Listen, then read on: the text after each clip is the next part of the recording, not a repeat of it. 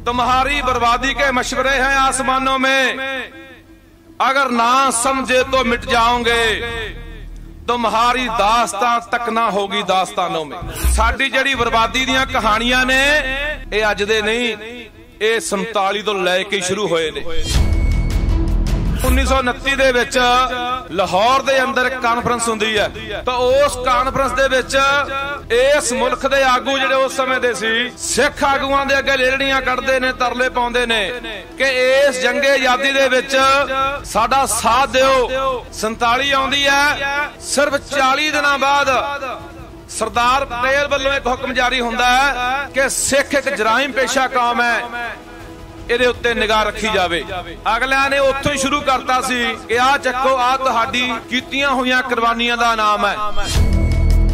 ਜਿਹੜੇ ਅੱਜ ਵੀ ਸਵਾਲ ਕਰਦੇ ਆ, ਜਵਾਬ ਦੇ ਦਿਆ ਕਰੋ। ਜਿਹੜੇ ਕਹਿੰਦੇ ਆ ਕਿ ਸਿੱਖ ਤਾਂ ਬਿਨਾਂ ਗੱਲ ਤੋਂ ਰੌਲਾ ਪਾਉਂਦੇ ਆ। ਜਿਹੜੇ ਕਹਿੰਦੇ ਕਿ ਸਿੱਖਾਂ ਨੂੰ ਗੁਲਾਮੀ ਕਿੱਥੇ ਹੈ? ਸਾਡੇ ਨੌਜਵਾਨਾਂ ਦੇ ਝੂਠੇ ਮੁਕਾਬਲੇ ਬਣਾ ਬਣਾ ਮਾਰੇ ਜਾਂਦੇ ਨੇ। ਉਹ ਲੜਾਈ ਲੜਦੇ ਸਾਡੇ ਯੋਧੇ ਸੂਰਮੇ ਜੇਲ੍ਹਾਂ ਦੇ ਵਿੱਚ ਬੰਦ ਨੇ। ਸਾਡੇ ਹੱਕਾਂ ਨੂੰ ਬਚਾਉਣ ਦੇ ਲਈ, ਸਾਡੀ ਜਵਾਨੀ ਨੂੰ ਬਚਾਉਣ ਦੇ ਲਈ, ਇਸ ਵਿਰਾਸਤ ਨੂੰ ਬਚਾਉਣ ਦੇ ਲਈ ਸਾਨੂੰ ਇੱਕ ਹੋਣਾ ਪੈਣਾ। ਜੇ ਹੁਣ ਵੀ ਅਸੀਂ ਲੀਕਾਂ ਖਿੱਚੀ ਰੱਖੀਆਂ, ਹੁਣ ਵੀ ਅਸੀਂ ਵੱਖਰੇ ਵੱਖਰੇ ਰਹੇ, ਤਾਂ ਅਸੀਂ ਕਦੇ ਨਹੀਂ ਜਿੱਤ ਸਕਣਾ, ਮੇਰੀ ਗੱਲ ਯਾਦ ਰੱਖਿਓ। ਗੁਰੂ ਗ੍ਰੰਥ ਸਾਹਿਬ ਦੀ ਪਾਵਨ ਹਜ਼ੂਰੀ ਦੇ ਵਿੱਚ ਜੁੜ ਬੈਠੀ ਸਾਧ ਸੰਗਤ ਜੀਓ ਫਤਿਹ ਦੀ ਸਾਂਝ ਪਾਈਏ। ਵਾਹਿਗੁਰੂ ਜੀ ਕਾ ਖਾਲਸਾ, ਵਾਹਿਗੁਰੂ ਜੀ ਕੀ ਫਤਿਹ। ਗੱਲਾਂ ਚੱਲੀਆਂ ਕਿ 7 ਸਾਲ ਤੋਂ ਲੈ ਕੇ ਇਨਸਾਫ ਨਹੀਂ ਮਿਲਿਆ। ਗੱਲ 7 ਸਾਲ ਦੀ ਨਹੀਂ, ਗੱਲ ਉਹ 70 ਸਾਲ ਦੀ ਆ। ਕਿਉਂਕਿ ਜੇ ਆਪਾਂ ਪਿੱਛੇ ਇਤਿਹਾਸ ਵੱਲ ਜਾਈਏ, ਤਾਂ ਸਾਨੂੰ ਗੱਲ ਸਮਝ ਪੈ ਜਾਣੀ ਆ ਕਿ 70 ਸਾਲ ਤੋਂ ਕਿਵੇਂ? ਅੱਜ ਆਪਾਂ ਆਮ ਹੀ ਗੱਲ ਸੁਣਦੇ ਆ ਪੱਤਰਕਾਰ ਭਰਾ ਵੀ ਕਈ ਸਵਾਲ ਕਰਦੇ ਆ। ਤੇ ਸਾਡੇ ਵਿੱਚੋਂ ਜਿਹੜੇ ਲੋਕ ਨੇ ਉਹ ਵੀ ਇਹ ਸਵਾਲ ਕਰਦੇ ਆ ਕਿ ਯਾਰ ਸਿੱਖਾਂ ਨੂੰ ਕੀ ਸਮੱਸਿਆ ਇਸ ਮੁਲਕ ਦੇ ਅੰਦਰ? ਵਧੀਆ ਚੰਗੀ ਜ਼ਿੰਦਗੀ ਜਿਉਂਦੇ ਆ, ਚੰਗਾ ਪਹਿਨਦੇ ਆ, ਚੰਗਾ ਖਾਂਦੇ ਆ, ਚੰਗਾ ਹੰਡਾਉਂਦੇ ਆ। ਖਾਂਦੇ ਪੀਂਦੇ ਛੜਾਂ ਚਲਾਉਂਦੇ ਆ। ਬਿਨਾਂ ਗੱਲ ਤੋਂ ਰੌਲਾ ਪਾਉਂਦੇ ਆ, ਬਿਨਾਂ ਗੱਲ ਤੋਂ ਬਖੇੜਾ ਖੜਾ ਕਰਦੇ ਆ। ਸੋ ਸੰਗਤ ਜੀ, ਆਪਾਂ 47 ਤੋਂ ਪਹਿਲਾਂ ਦੀ ਗੱਲ ਕਰਦੇ ਆ ਕਿ ਜਦੋਂ ਉਸ ਸਮੇਂ ਦੇ ਸਾਡੇ ਆਗੂਆਂ ਨੇ ਇਸ ਭਾਰਤ ਦੇ ਆਗੂਆਂ ਨੂੰ ਜਵਾਬ ਦਿੱਤਾ ਸੀ, ਤਾਂ 1929 ਦੇ ਵਿੱਚ ਲਾਹੌਰ ਦੇ ਅੰਦਰ ਇੱਕ ਕਾਨਫਰੰਸ ਹੁੰਦੀ ਹੈ। ਉਹਨੂੰ ਰਾਵੀ ਕਾਨਫਰੰਸ ਦੇ ਨਾਮ ਨਾਲ ਜਾਣਿਆ ਜਾਂਦਾ ਹੈ। ਤਾਂ ਉਸ ਕਾਨਫਰੰਸ ਦੇ ਵਿੱਚ ਇਸ ਮੁਲਕ ਦੇ ਆਗੂ ਜਿਹੜੇ ਉਸ ਸਮੇਂ ਦੇ ਸੀ, ਸਿੱਖ ਆਗੂਆਂ ਦੇ ਅੱਗੇ ਲੇੜੀਆਂ ਕੱਢਦੇ ਨੇ, ਤਰਲੇ ਪਾਉਂਦੇ ਨੇ ਕਿ ਇਸ ਜੰਗੇ ਆਜ਼ਾਦੀ ਦੇ ਵਿੱਚ ਸਾਡਾ ਸਾਥ ਦਿਓ। ਇਹ ਤੁਹਾਡੇ ਬਿਨਾ ਜੰਗ ਜਿੱਤੀ ਨਹੀਂ ਜਾਣੀ। ਤੁਹਾਡੇ ਬਿਨਾ ਗੋਰਿਆਂ ਨੂੰ ਇੱਥੋਂ ਭਜਾਇਆ ਨਹੀਂ ਜਾਣਾ, ਕੱਢਿਆ ਨਹੀਂ ਜਾਣਾ। 47 ਆਉਂਦੀ ਹੈ ਜਿਹਨੂੰ ਆਜ਼ਾਦੀ ਕਿਹਾ ਗਿਆ, ਕਿ ਮੁਲਕ ਆਜ਼ਾਦ ਹੋ ਗਿਆ, ਇਹ ਮੁਲਕ ਵੰਡਿਆ ਜਾਂਦਾ, ਟੋਟੇ ਹੋ ਜਾਂਦੇ ਆ ਪੰਜਾਬ ਦੇ। ਦੇਖੋ, ਸਾਡੇ ਨਾਲ ਕੀ ਵਾਪਰਦਾ ਹੈ? ਜਿਹੜੇ ਅੱਜ ਵੀ ਸਵਾਲ ਕਰਦੇ ਆ, ਜਵਾਬ ਦੇ ਦਿਆ ਕਰੋ। ਜਿਹੜੇ ਕਹਿੰਦੇ ਆ ਕਿ ਸਿੱਖ ਤਾਂ ਬਿਨਾਂ ਗੱਲ ਤੋਂ ਰੌਲਾ ਪਾਉਂਦੇ ਆ। ਜਿਹੜੇ ਕਹਿੰਦੇ ਕਿ ਸਿੱਖਾਂ ਨੂੰ ਗੁਲਾਮੀ ਕਿੱਥੇ ਹੈ? ਸਿਰਫ 40 ਦਿਨਾਂ ਬਾਅਦ ਸਰਦਾਰ ਪਟੇਲ ਵੱਲੋਂ ਇੱਕ ਹੁਕਮ ਜਾਰੀ ਹੁੰਦਾ ਹੈ ਤੇ ਉਸ ਸਮੇਂ ਦਾ ਗਵਰਨਰ ਚੰਦੂ ਲਾਲ ਤਰਵੇਦੀ ਚਿੱਠੀਆਂ ਜਾਰੀ ਕਰਦਾ ਹੈ ਕਿ ਸਿੱਖ ਇੱਕ ਜਰਾਇਮ ਪੇਸ਼ਾ ਕੌਮ ਹੈ। ਇਹਦੇ ਉੱਤੇ ਨਿਗਾਹ ਰੱਖੀ ਜਾਵੇ। ਅਗਲਿਆਂ ਨੇ ਉੱਥੋਂ ਹੀ ਸ਼ੁਰੂ ਕਰਤਾ ਸੀ। ਉੱਥੋਂ ਹੀ ਸਾਨੂੰ ਨਾਮ ਦੇਤਾ ਸੀ ਆਜ਼ਾਦੀ ਤੋਂ ਬਾਅਦ ਕਿ ਆਹ ਚੱਕੋ, ਆਹ ਤੁਹਾਡੀ ਕੀਤੀਆਂ ਹੋਈਆਂ ਕੁਰਬਾਨੀਆਂ ਦਾ ਨਾਮ ਹੈ।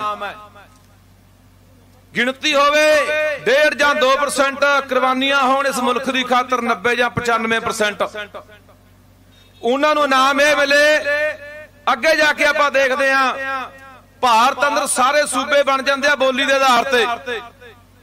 ਪਰ ਪੰਜਾਬ ਨੂੰ ਫੇਰ ਵੀ ਸੰਘਰਸ਼ ਕਰਨਾ ਪੈਂਦਾ ਹੈ। ਸ਼ਹਿਰ ਦੇ ਵਿੱਚ ਪੰਜਾਬ ਸੂਬਾ ਬਣਦਾ, ਉਹ ਵੀ ਲੰਗੜਾ ਸੂਬਾ ਬਣਦਾ ਹੈ। ਰਾਜਧਾਨੀਆਂ ਖੋਲੀਆਂ ਜਾਂਦੀਆਂ ਨੇ। ਪੰਜਾਬੀ ਬੋਲਦੇ ਇਲਾਕੇ ਖੋਲੇ ਜਾਂਦੇ ਨੇ। ਪੰਜਾਬ ਨੂੰ ਫਿਰ ਵੱਟ ਟੁੱਕ ਦਿੱਤਾ ਜਾਂਦਾ ਫਿਰ ਦੌਰ ਚੱਲਦਾ ਹੈ। ਨਸਲਵਾੜੀ ਲਹਿਰ ਦੇ ਵਿੱਚ ਸਾਡੇ ਨੌਜਵਾਨ ਮਾਰੇ ਜਾਂਦੇ ਆ। ਫਿਰ ਦੌਰ ਆਉਂਦਾ ਹੈ। ਦਰਬਾਰ ਸਾਹਿਬ ਢਾ ਦਿੱਤੇ ਜਾਂਦੇ ਨੇ ਕਾਲ ਤਖਤ ਸਾਹਿਬ ਢਾ ਦਿੱਤੇ ਜਾਂਦੇ ਨੇ। ਸਾਡੇ ਨੌਜਵਾਨਾਂ ਦੇ ਝੂਠੇ ਮੁਕਾਬਲੇ ਬਣਾ ਬਣਾ ਮਾਰੇ ਜਾਂਦੇ ਨੇ। ਅੱਜ ਵੀ ਉਹ ਲੜਾਈ ਲੜਦੇ ਸਾਡੇ ਯੋਧੇ ਸੂਰਮੇ ਜੇਲ੍ਹਾਂ ਦੇ ਵਿੱਚ ਬੰਦ ਨੇ। ਜਿਹੜੇ ਕਹਿ ਦਿੰਦੇ ਆ ਕਿ ਯਾਰਾ ਸੋਨੂੰ ਕੀ ਤਕਲੀਫ ਹੈ? ਇਸ ਹਕੂਮਤ ਤੋਂ ਤੁਸੀਂ ਬਿਨਾਂ ਗੱਲ ਤੋਂ ਰੌਲਾ ਪਾਉਂਦੇ ਆ। ਕਿ ਆਪਦਿਆਂ ਨੂੰ ਮੈਂ ਸੁਣਦਾ ਹੁੰਨਾ ਫੇਸਬੁੱਕਾਂ ਦੇ ਉੱਤੇ ਬੈਠ ਕੇ ਇਹ ਬਦਵਾਨੀ ਝਾੜਦੇ ਹੁੰਦੇ ਆ ਕਿ ਯਾਰ ਐਵੇਂ ਰੌਲਾ ਪਾਉਂਦੇ ਆ, ਸਿੱਖਣ ਤੋਂ ਕੋਈ ਸਮੱਸਿਆ ਹੈ ਨਹੀਂ। ਪੂਰੇ ਦੇਸ਼ ਦੇ ਅੰਦਰ ਸਿੱਖ ਵਧੀਆ ਤਰੀਕੇ ਨਾਲ ਜਾਉਂਦੇ ਆ, ਵਸਦੇ ਆ। ਤਾਂ ਸ਼ੇਰ ਇੱਕ ਧਿਆਨ ਦਿਓ। तुम्हारी बर्बादी के तुम्हारी बर्बादी के मशवरे हैं आसमानों में तुम्हारी बर्बादी के मशवरे हैं आसमानों में अगर ना समझे तो मिट जाओगे तुम्हारी दास्तां तक ना होगी दास्तानों में ਇਹ ਸਮਝਣਾ ਪੈਣਾ ਹੈ ਕਿ ਸਾਡੀ ਜਿਹੜੀ ਬਰਬਾਦੀ ਦੀਆਂ ਕਹਾਣੀਆਂ ਨੇ ਇਸ ਪੰਜਾਬ ਨੂੰ ਬਰਬਾਦ ਕੀਤਾ ਜਾ ਰਿਹਾ ਹੈ ਤਬਾਹ ਕੀਤਾ ਜਾ ਰਿਹਾ ਹੈ, ਖੋਖਲਾ ਕੀਤਾ ਜਾ ਰਿਹਾ ਹੈ, ਖਾਲੀ ਕੀਤਾ ਜਾ ਰਿਹਾ ਹੈ। ਇਹ ਅੱਜ ਦੇ ਨਹੀਂ, ਇਹ 47 ਤੋਂ ਲੈ ਕੇ ਸ਼ੁਰੂ ਹੋਏ ਨੇ। ਸੋ ਹੁਣ ਸਮਝਣ ਦੀ ਲੋੜ ਹੈ, ਇੱਥੇ ਆਪਾਂ ਗੱਲ ਕਰਕੇ ਗਏ ਆ ਸਰਕਾਰ ਦੇ ਨੁਮਾਇੰਦੇ ਬੋਲ ਕੇ ਗਏ ਆ। ਕਿ ਅਸੀਂ ਇਨਸਾਫ ਦੇਵਾਂਗੇ ਜੀ। ਆਪਾਂ ਉਹ ਵੀ ਦੌਰ ਦੇਖਿਆ ਕਿ ਕਿੱਡੇ ਵੱਡੇ ਇਕੱਠ ਇੱਥੇ ਹੋਏ। ਬਰਗਾੜੀ ਮੋਰਚਾ 6 ਮਹੀਨੇ ਲਗਾਤਾਰ ਚੱਲਿਆ। ਸਰਕਾਰ ਦੇ ਨੁਮਾਇੰਦੇ ਬਾਜਵੇ ਵਰਗੇ, ਰੰਧਾਵੇ ਵਰਗੇ, ਇੱਥੇ ਇਹਨਾਂ ਸਟੇਜਾਂ ਤੇ ਆ ਕੇ ਬੋਲਦੇ ਰਹੇ ਕਿ ਸਾਨੂੰ ਚੰਦ ਕ ਦਿਨ ਦੇ ਦਿਓ, ਅਸੀਂ ਇਨਸਾਫ ਕਰਾਂਗੇ। ਪਰ ਹੋਇਆ ਕੀ? ਛਲਾਵੇ ਚ ਲੈ ਕੇ, ਧੋਖੇ ਚ ਲੈ ਕੇ ਉਹ ਮੋਰਚਾ ਵੀ ਚਕਾ ਦਿੱਤਾ ਗਿਆ। ਅੱਜ ਸਰਕਾਰ ਦੇ ਨੁਮਾਇੰਦੇ ਆਏ ਆ। ਅੱਜ ਵੀ ਇਹ ਗੱਲ ਕਹਿ ਕੇ ਗਏ ਆ ਕਿ ਸਾਨੂੰ ਸਮਾਂ ਦੇ ਦਿਓ ਜੀ, ਮਹੀਨਾ, ਡੇਢ ਮਹੀਨਾ ਹੋਰ ਦੇ ਦਿਓ ਜੀ। ਇਹੀ ਕੇਜਰੀਵਾਲ ਸੀ। ਵੋਟਾਂ ਤੋਂ ਪਹਿਲਾਂ ਕਹਿੰਦਾ ਸੀ ਕਿ ਬੇਅਦਬੀ ਦਾ ਇਨਸਾਫ, ਬਹਿਬਲ ਕਲਾਂ ਗੋਲੀ ਕਾਂਡ ਦਾ ਇਨਸਾਫ, ਸਾਡੀ ਸਰਕਾਰ ਆਉਣ ਦਿਓ 24 ਘੰਟਿਆਂ ਚ ਕਰਾਂਗੇ 24 ਘੰਟਿਆਂ ਚ। ਅੱਜ ਤਾਂ 7 ਮਹੀਨੇ ਹੋ ਗਏ। ਅੱਜ ਵੀ ਉਹੀ ਸਿੱਟਾਂ, ਉਹੀ ਪੜਤਾਲਾਂ, ਉਹੀ ਜਾਂਚਾਂ ਹੋ ਰਹੀਆਂ ਨੇ। ਇਹ ਆਪਣੇ ਕੋਲੇ ਗੱਲ ਅੱਜ ਸਾਫ਼ ਹੋ ਗਈ ਕਿ ਉਹਨਾਂ ਦੀ ਪਾਰਟੀ ਦਾ ਹੀ ਨੁਮਾਇੰਦਾ ਉਹਨਾਂ ਦੀ ਪਾਰਟੀ ਦਾ ਹੀ ਐਮਐਲਏ ਕੁਮਰ ਵਿਜੇ ਪ੍ਰਤਾਪ, ਜਿਹੜਾ ਅੱਜ ਕੱਲ ਸਾਫ਼ ਕਰ ਗਿਆ ਵੀ ਇਨਸਾਫ ਇੱਥੇ ਮਿਲਣਾ ਮੁਲਣਾ ਕੋਈ ਨਹੀਂ ਭਰਾਵੋ। ਸੋ ਇਸ ਗੱਲ ਤੋਂ ਸਾਨੂੰ ਸਮਝਣਾ ਚਾਹੀਦਾ ਇਹ ਆਉਣਗੇ। ਇਸ ਤਰ੍ਹਾਂ ਨਾਲ, ਤਰੀਕੇ ਨਾਲ ਹੀ ਇਹ ਜਿਹੜੇ ਮਗਰਮੱਛ ਦੇ ਹੰਝੂ ਆ ਉਹ ਬਹਾਉਣਗੇ ਆਪਾਂ ਦੇਖ ਰਹੇ ਹਾਂ, ਸਾਰੇ ਭਲੀ ਭਾਂ ਜਾਣਦੇ ਆ ਕਿ ਪੰਜਾਬ ਦਾ ਮੁੱਖ ਮੰਤਰੀ ਜੀ ਨੂੰ ਲੋਕਾਂ ਨੇ ਬੜੇ ਪਿਆਰ, ਬੜੇ ਚਾਅ ਨਾਲ ਚੁਣਿਆ। ਉਹ ਗੁਜਰਾਤ ਦੇ ਵਿੱਚ ਭੰਗੜੇ ਪਾਉਂਦਾ ਫਿਰਦਾ ਤੇ ਸਾਡੀ ਜਵਾਨੀ ਚਿੱਟਿਆਂ ਨਾਲ ਮਰ ਰਹੀ ਆ ਸਾਡੇ ਘਰਾਂ 'ਚ ਵੈਣ ਪੈ ਰਹੇ ਨੇ ਸਿਵੇ ਸਾਡੇ ਵੱਲ ਰਹੇ ਨੇ। ਸੋ ਇਹ ਗੱਲ ਵੀ ਤੁਹਾਨੂੰ ਸਮਝਣੀ ਪੈਣੀ ਆ। ਅਗਲੀ ਮੈਂ ਗੱਲ ਕਰਨੀ ਚਾਹੁੰਦਾ ਪਾਣੀਆਂ ਦੇ ਉੱਤੇ। ਕਿਉਂਕਿ ਅੱਜ ਇੱਕ ਪਾਸੇ ਤੇ ਪੰਥਕ ਇਕੱਠ ਹੈ। ਇਨਸਾਫ ਲੈਣ ਲਈ ਸਰਾਬੇ ਵੀ ਇੱਕ ਮੋਰਚਾ ਲੱਗਿਆ ਹੋਇਆ ਹੈ ਬੰਦੀ ਸਿੰਘਾਂ ਦੀ ਰਿਹਾਈ ਦੇ ਲਈ। ਤੇ ਤੀਜੇ ਪਾਸੇ ਆਪਾਂ ਦੇਖਦੇ ਹਾਂ ਕਿ ਅੱਜ ਪੰਜਾਬ ਤੇ ਹਰਿਆਣੇ ਦੀ ਇੱਕ ਮੀਟਿੰਗ ਹੋਣ ਜਾ ਰਹੀ ਆ। ਐਸਵਾਈਐਲ ਨੂੰ ਲੈ ਕੇ ਸਤਲੁਜ ਜਿਹੜੀ ਜਮਨਾ ਲਿੰਕ ਲਹਿਰ ਨੂੰ ਲੈ ਕੇ ਸੁਪਰੀਮ ਕੋਰਟ ਨੇ ਹਦਾਇਤ ਕੀਤੀ ਹੈ ਕਿ ਪੰਜਾਬ ਤੇ ਹਰਿਆਣਾ ਬੈਠ ਕੇ ਮਸਲੇ ਦਾ ਹੱਲ ਕੱਢਣ। ਪਰ ਤੁਸੀਂ ਦੇਖੋਗੇ ਗੱਲ ਕਿ ਜਿਹੜਾ ਪੰਜਾਬ ਦਾ ਮੁੱਖ ਮੰਤਰੀ ਪੰਜਾਬ ਦਾ ਮਾਨ ਕਿਹਾ ਗਿਆ ਭਗਵੰਤ ਸਿੰਘ ਮਾਨ ਉਹ ਇਸ ਮਸਲੇ ਉੱਤੇ ਵੀ ਗੱਲ ਗੋਲ ਕਰੂਗਾ ਮੇਰੀ ਗੱਲ ਯਾਦ ਰੱਖਿਓ। ਕਿਉਂ? ਕਿਉਂਕਿ ਕੇਜਰੀਵਾਲ ਨੇ ਹਰਿਆਣਾ 'ਚੋਂ ਵੀ ਵੋਟਾਂ ਲੈਣੀਆਂ ਨੇ। ਕੇਜਰੀਵਾਲ ਨੇ ਰਾਜਸਥਾਨ ਤੋਂ ਵੀ ਵੋਟਾਂ ਲੈਣੀਆਂ ਨੇ। ਕੇਜਰੀਵਾਲ ਚਾਹੁੰਦਾ ਕਿ ਮੈਂ ਇਸ ਮੁਲਕ ਦਾ ਪ੍ਰਧਾਨ ਮੰਤਰੀ ਬਣਾ। ਲੱਖ ਵਾਰੀ ਬਣ, ਜੀ ਸਦਕੇ ਬਣ, ਕਿਸੇ ਨੂੰ ਕੋਈ ਸਮੱਸਿਆ ਨਹੀਂ। ਪਰ ਪੰਜਾਬ ਨੂੰ ਦਾਤੇ ਲਾ ਕੇ, ਸਾਡੇ ਪਾਣੀ ਦਾਤੇ ਲਾ ਕੇ, ਸਾਡੇ ਹੱਕ ਦਾਤੇ ਲਾ ਕੇ, ਜੇ ਤੁਸੀਂ ਪ੍ਰਧਾਨ ਮੰਤਰੀ ਬਣਨਾ ਚਾਹੁੰਦੇ ਆ, ਮੋਹਰਾ ਬਣਾ ਕੇ ਪੰਜਾਬ ਦੇ ਮੁੱਖ ਮੰਤਰੀ ਨੂੰ, ਤਾਂ ਇਹ ਪੰਜਾਬ ਕਦੇ ਬਰਦਾਸ਼ਤ ਨਹੀਂ ਕਰੂਗਾ। ਇਹ ਹੁਣ ਆਪਣੇ ਹੱਕਾਂ ਦੇ ਪਹਿਰਾ ਸਾਨੂੰ ਆਪ ਨੂੰ ਦੇਣਾ ਪੈਣਾ ਕਿਉਂਕਿ ਸਾਡੇ ਕੋਲੇ ਧਰਤੀ ਹੇਠਾਂ ਪਾਣੀ ਬਹੁਤਾ ਬਚਿਆ ਨਹੀਂ। ਤੇ ਦਰਿਆਵਾਂ ਦਾ ਪਾਣੀ ਸਾਡਾ ਮੋੜ ਕੇ ਲਿਜਾ ਚੁੱਕੇ ਨੇ ਕੋਈ ਰਾਜਸਥਾਨ ਵੱਲ ਤੇ ਕੋਈ ਦਿੱਲੀ ਵੱਲ। ਤੇ ਹਰਿਆਣੇ ਨਾਲ ਸਾਡਾ ਕੋਈ ਮਸਲਾ ਵੀ ਨਹੀਂ। ਇਹ ਆਪਾਂ ਦਿੱਲੀ ਕਿਸਾਨ ਅੰਦੋਲਨ ਦੇ ਵਿੱਚ ਵੀ ਦੇਖਿਆ ਸੀ ਕਿ ਜਦੋਂ ਬੀਜੇਪੀ ਨੇ ਸਿੰਜੜੀ ਸੇੜੀ ਸੀ ਉੱਥੇ ਕਿ ਐਸਵਾਈਐਲ ਦਾ ਮੁੱਦਾ ਉਠਾਇਆ ਗਿਆ ਸੀ। ਤਾਂ ਹਰਿਆਣੇ ਦੇ ਕਿਸਾਨਾਂ ਨੇ ਵੀ ਕਿਹਾ ਸੀ ਸਾਨੂੰ ਨਹੀਂ ਚਾਹੀਦੀਆਂ ਗੱਲਾਂ। ਪੰਜਾਬ ਸਾਡਾ ਵੱਡਾ ਭਰਾ ਸੀ, ਬੈਠ ਕੇ ਨਿਬੇੜ ਲਾਂਗੇ। ਅਸੀਂ ਅੱਜ ਵੀ ਉਹਨਾਂ ਭਰਾਵਾਂ ਨੂੰ ਕਹਿਣਾ ਚਾਹੁੰਦੇ ਆ ਕਿ ਪੰਜਾਬ ਦੇ ਪਾਣੀ ਵੱਲ ਧਿਆਨ ਦੇਣ ਦੀ ਬਜਾਏ ਜਿਹੜੀ ਸ਼ਾਰਦਾ ਨਦੀ ਆਉਂਦੀ ਹੈ ਯੂਪੀ ਤੋਂ, ਜਮਨਾ ਨਾਲ ਜੁੜਦੀ ਹੈ। ਉਹ ਨਦੀ ਜੋ ਪਾਣੀ ਮੰਗੋ, ਜਿਹੜੀ ਨਦੀ ਦਾ ਪਾਣੀ ਫਾਲਤੂ ਜਾ ਰਿਹਾ ਹੈ। ਜਿਹੜੀ ਨਦੀ ਦਾ ਪਾਣੀ ਕਹਿ ਢਾਉਂਦਾ, ਆ ਕੇ ਲੋਕਾਂ ਦੇ ਘਰ ਢਾ ਦਿੰਦਾ, ਲੋਕਾਂ ਦੇ ਖੇਤ ਤਬਾਹ ਕਰ ਦਿੰਦਾ, ਉਹ ਨਦੀ ਦੇ ਵਿੱਚੋਂ ਤੁਸੀਂ ਆਪਣਾ ਪਾਣੀ ਮੰਗੋ, ਆਪਣਾ ਹਿੱਸਾ ਮੰਗੋ, ਨਾ ਕਿ ਸਤਲੁਜ ਦੇ ਵਿੱਚੋਂ ਆਪਣਾ ਹਿੱਸਾ ਮੰਗੋ, ਕਿਉਂਕਿ ਪੰਜਾਬ ਕੋਲੇ ਹੁਣ ਪਾਣੀ ਬਹੁਤਾ ਬਚਿਆ ਨਹੀਂ। ਸੋ ਅਖੀਰ ਦੇ ਉੱਤੇ ਮੈਂ ਇਹੀ ਕਹਿਣਾ ਕਿ ਠੀਕ ਹੈ ਇਕੱਠ ਜੁੜਦੇ ਨੇ ਬਹੁਤ ਬੁਲਾਰਿਆਂ ਨੇ ਇਸ ਗੱਲ ਦਾ ਗਿਲਾ ਕੀਤਾ ਕਿ ਇਕੱਠ ਜੁੜਦੇ ਨੇ, ਚਲੇ ਜਾਂਦੇ ਨੇ। ਜੁੜਦੇ ਨੇ, ਚਲੇ ਜਾਂਦੇ ਨੇ। ਨਰਾਸਤਾ ਵੀ ਆਈ ਆ ਲੋਕਾਂ ਦੇ ਵਿੱਚ, ਬਰਗਾੜੀ ਮੋਰਚੇ ਨੂੰ ਲੈ ਕੇ ਲੋਕਾਂ ਨੇ ਬੜਾ ਜ਼ੋਰ ਲਾਇਆ ਸੀ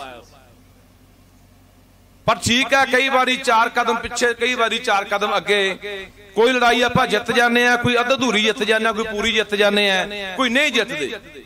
ਕੌਮਾਂ ਨਾਲ ਲੜਦੀਆਂ, ਕੌਮਾਂ ਨਾਲ ਇਹੀ ਹੁੰਦਾ ਹੁੰਦਾ ਕਦੇ ਨਰਾਸਤਾ ਚ ਆ ਕੇ ਘਰਾਂ 'ਚ ਨਹੀਂ ਬੈਠਣਾ ਵੀ ਨਹੀਂ ਯਾਰ, ਉੱਥੇ ਤਾਂ ਐ ਨਹੀਂ ਹੋਇਆ। ਨਹੀਂ। ਕਿਸੇ ਨੇ ਸੋਚਿਆ ਸੀ ਕਿ ਦਿੱਲੀ ਜਾ ਕੇ ਆਪਾਂ ਮੋਰਚਾ ਫਤਿਹ ਕਰ ਲਾਂਗੇ।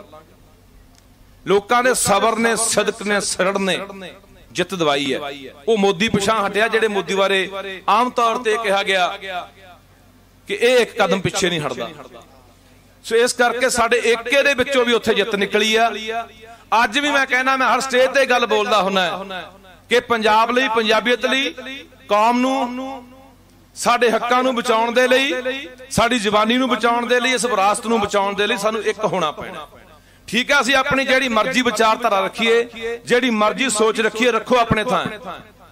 ਪਰ ਹੁਣ ਸਾਨੂੰ ਸਿਰ ਜੋੜਨ ਦਾ ਜੋੜਨ ਦਾ ਵੇਲਾ ਹੈ। ਜੀ ਹੁਣ ਵੀ ਅਸੀਂ ਲੀਕਾਂ ਖਿੱਚੀ ਰੱਖੀਆਂ ਹੁਣ ਵੀ ਅਸੀਂ ਵੱਖਰੇ ਵੱਖਰੇ ਰਹੇ ਕਿ ਨਹੀਂ ਉਹਦੇ ਨਾਲ ਮੇਰੀ ਬਣਦੀ ਨਹੀਂ।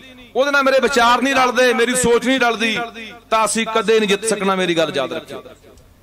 ਸੋ ਸਾਰੇ ਮਤਭੇਦ ਭੁਲਾ ਕੇ ਸਾਰੀਆਂ ਜਿੰਨੀਆਂ ਪੰਥਕ ਧਿਰਾਂ ਨੇ ਜਿੰਨੀਆਂ ਸਮਾਜਿਕ ਧਿਰਾਂ ਨੇ ਜਿੰਨੀਆਂ ਹੋਰ ਵੱਖ-ਵੱਖ ਧਿਰਾਂ ਲੜ ਰਹੀਆਂ ਨੇ ਇੱਕ ਵਾਰੀ ਆਪਣਾ ਫਰਜ਼ ਬਣਦਾ ਹੈ ਕਿ ਸਾਰਿਆਂ ਨੂੰ ਇੱਕੋ ਮੰਚ ਤੇ ਲਿਆ ਕੇ ਬਿਠਾ ਕੇ ਵਿਚਾਰ ਵਟਾਂਦਰੇ ਕੀਤੇ ਜਾਣ ਫਿਰ ਅੱਗੇ ਵਧਿਆ ਜਾ ਸਕਦਾ ਹੈ। ਇਹਦੇ ਵਿੱਚੋਂ ਹੀ ਆਪਣੀ ਜਿਹੜੀ ਜਿੱਤ ਨਿਕਲਣੀ ਆ ਧੰਨਵਾਦ ਜੀ ਸਾਰਿਆਂ ਦਾ। ਵਾਹਿਗੁਰੂ ਜੀ ਕਾ ਖਾਲਸਾ।